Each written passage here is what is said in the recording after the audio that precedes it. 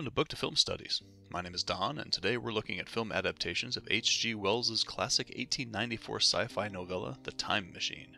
This novella tells the story of an unnamed time traveler who builds a time machine to explore the future of the human race and doesn't find what he thought he'd find. It has been adapted for screen three times. But which is the most faithful to the original text? I've watched all three versions and scored them in terms of characters, elements, and plot points for faithfulness to the text. A document with the elements in each category can be found in a link in the description for this video. These versions include a 1960 version starring Rod Taylor, a 1978 made-for-TV version starring John Beck, and a 2002 version starring Guy Pearce, who makes his second appearance here at Book to Film after his turn as Ebenezer Scrooge in 2019's A Christmas Carol. Warning, possible spoilers ahead. For characters, a point is awarded if the character appears. Since names are sometimes changed in versions, a character gets a point if they appear and it's supposed to be the one in the book. For example, the main character is named in the versions even though he's not named in the book. If there is a particularly interesting part of the character's description that should be included in a portrayal, I include that as a bonus point, such as Philby having red hair. There are 26 possible character points. For elements, points are awarded if an element is present, a future setting for example partial points can be given, for example, the type of material used in the future statue. There are 18 possible element points. For plot points, points are given if the plot point happens. Bonus points are given if a detail is present in the plot point, such as the wells discovered being rimmed with bronze. There are 30 possible plot point points. There are 74 possible regular points. Other bonus points may be given for anything not in the three main categories that shows an attention to detail to the book. As always, departures or creative licenses are not counted against any version. I'm not concerned with what's different from the book, but what is the same. Departures will be mentioned if it seems like it hurts a score, such as if a new scene takes time away from a book scene that could have been included. This is also not a list of my favorites or which I think is best, as I'll leave that up to you to decide, but which contains the most elements from the book. Comment below about which version you think is the most faithful, and then which is your favorite. Links to online videos of versions not readily available on home video can be found in the description below. Characters Our first character is the narrator of the novel, who is also a guest at the dinners provided by the main character. The narrator does not appear in any version. The time traveler, so named in the book, appears in all three versions, but in Taylor he is named George, in Beck he is named Neil Perry, and in Pearce he is named Alexander Hartdegen. All three are scientists of some sort. Philby, a red-haired and argumentative friend of the travelers, appears in Taylor and Pearce, though he isn't all that argumentative in either one. A psychologist is a dinner guest at both dinners and doesn't appear fully in any version. Beck gets a partial point for the psychologist, as a character in that version sets the mini time machine in motion as the psychologist does in the book. There is a very young man described in the book as having a cigar, but no other details. The Taylor version gets a partial point for this character, for including a character smoking a cigar, but he's not young. There is no character referred to or suggested as a provincial mayor in any version. A medical man or doctor appears only in Taylor, and in this version he is the one to send the mini machine into time. An editor named Mr. Blank is at the first dinner, but doesn't appear in any version. A journalist, possibly named Mr. Dash, does not appear in any version. A shy, quiet man, whom the narrator states never says anything during the dinner, possibly named Mr. Chose, is described as having a beard, so Beck gets a partial point for one of the characters speaking to the traveler having a beard, though he's not a shy or quiet man. Mrs. Watchett, the traveler's housekeeper, appears in Taylor and Pearce, while Beck gets a partial point for the character appearing as the traveler's secretary. The Eloi appear in various forms throughout the versions. They're supposed to be small, about 4 feet tall, and wear multicolored tunics with leather belts and sandals. No version shows them this small, but Taylor at least has them wearing different colored tunics. Beck has them in just white tunics, and Pearce's Eloi are cliff-dwelling people in skins and brown clothing. Likewise, the Morlocks appear in each version. In Taylor, they are close to the book description of small and ape-like, with white fur, large grayish-red eyes, with hair on the head and down the back, though not as small as suggested. Beck's Morlocks are tall, hairless, and wide-eyed, while Pearce's are larger, not as white, and not as hairy as described. But then, a Morlock leader says there are different castes to the society, and he appears almost human, with long, white hair and bluish skin. Weena, an Eloi the Traveler rescues, appears in each version, with Taylor and Beck depicting her in a white and gold type of figure in a tunic as in the book. In Pearce, she is dark haired and not wearing the right type of tunic. The traveler's manservant does not appear in any version. After all character points, Taylor leads with 13.5 points, Pearce is in second with 7 points, and Beck is in third with 6.5 points. Elements The novella takes place in Victorian times. It was written in 1894 and is contemporaneous, while the traveler mentions his 19th century clothes.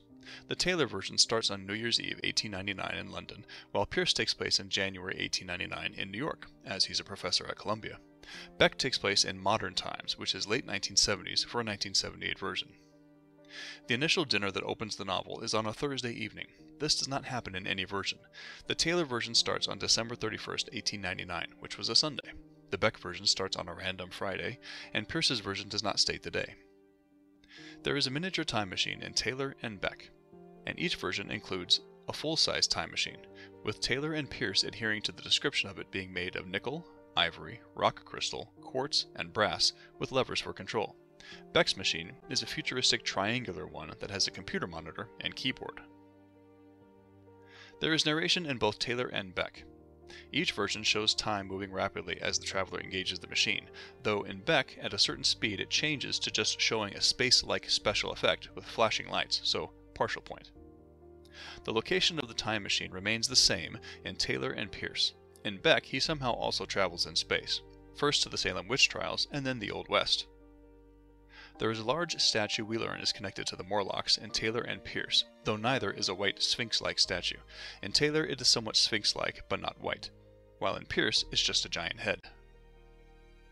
The time machine's levers are removable in both Taylor and Pearce, and both these versions also accurately depict the far future date as being the year 802,701. The future landscape is a garden in Taylor and Beck, though in Beck it's surrounded by a desert. Pearce's future is more of a jungle.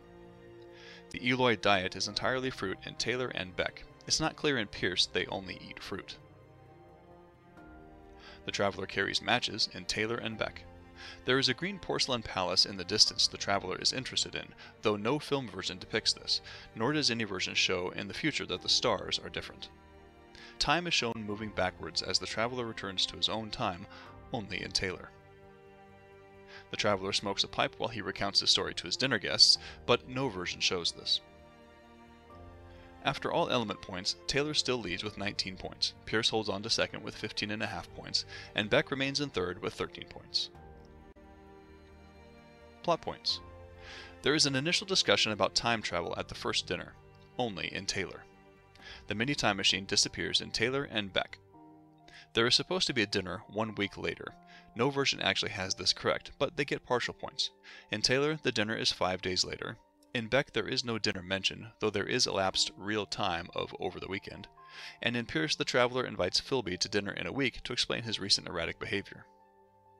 At the later dinner time period, the traveler comes in disheveled in Taylor and Beck. Pearce does not return to his own time.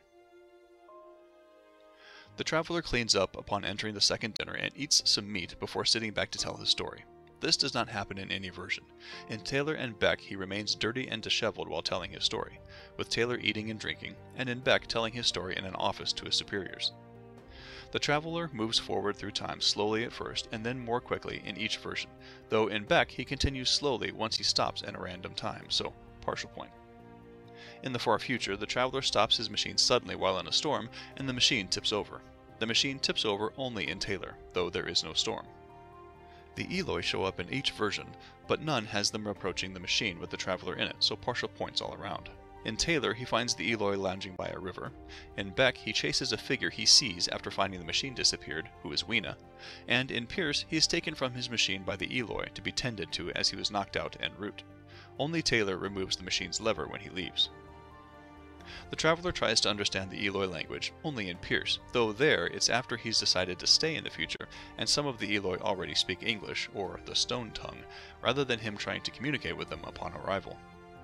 The time machine disappears in each version, though in Pearce the traveler doesn't realize it's been taken until it is brought in to where he's talking to the Morlock leader, so a partial point. The traveler discovers some sort of well in Taylor and Beck, though in Beck it's a tunnel rather than a well. The traveler rescues Weena while the other Eloi just watch, only in Taylor. The Morlocks come out at night in each version. The traveler goes down a well to try to find his machine, only in Taylor. In Beck, he goes through a tunnel he found, and in Pearce, he goes into a random opening in the ground, so partial points.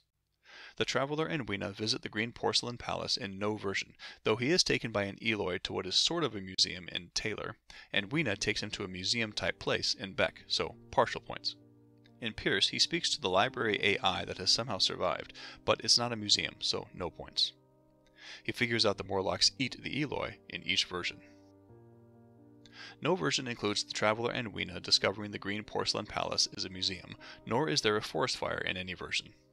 The Sphinx statue appears open only in Taylor, though the Traveler is attacked by Morlocks when he gets into his machine in both Taylor and Beck. Pearce has a fight with the Morlock leader, but he is the one who initiates it.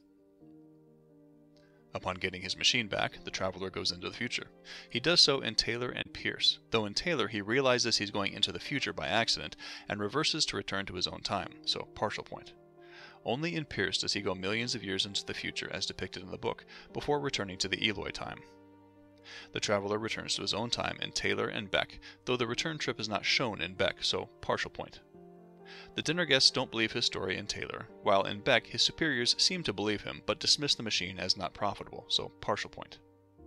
And no version shows the narrator character waiting for the traveler to return when the traveler goes off into the machine again. After all plot points, Taylor still leads with 47.5 points, with Beck overtaking Pearce by 1 point. Bonus points. Bonus points go to Taylor for having a plaque on the time machine indicating its creator was H. George Wells, a nod to the book's author, and to Pearce for having a library AI in the future reference both the book and the 1960 film version, though sadly not the 1978 version. After bonus points are figured in, Taylor comes out on top with 48.5 points, while Pearce edges out Beck by 1 point. Taylor's 1960 version garnered almost 66% of possible points, a solid, faithful score, while the other two averaged less than half of that score at about 31%, even though they had more screen time than the Taylor version. Pearce and Beck were hurt by multiple departures from the book that took time away from book scenes that could have been included, such as the motivating plot for Pearce to make a time machine for saving his fiancée from being killed, or Beck going into the past twice before heading into the future all versions also lost out on many character points for simply not including the majority of dinner guests. Is there a version I missed you think is more faithful than any of these? Comment below and I'll check it out. Are there other book to film adaptations that should be scored for accuracy? Let me know in the comments below. Thanks for watching.